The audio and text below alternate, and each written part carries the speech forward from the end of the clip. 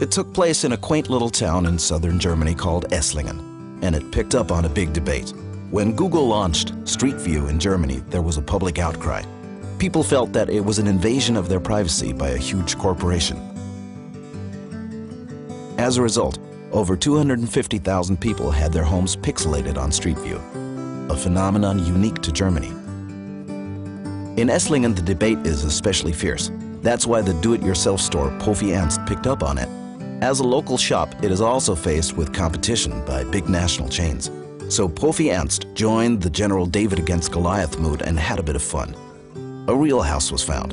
A perfect reprint of the house was done as a giant poster, but in pixelated look, creating the illusion of the house being blurred. A headline was added, Don't be ashamed of your house. A fun take on the discussion. The humorous, provocative thought, some people may have blurred their homes online for reasons other than privacy, like the fact that their house is not attractive enough to be seen on Street View. People stopped, laughed, and read about it in the local news. To increase reach, the installation was supported by a poster campaign reinforcing the thought that a trip to Profi will make your home beautiful again. This stunt hijacked a big national topic and succeeded in strengthening the bond of a small store with its local community.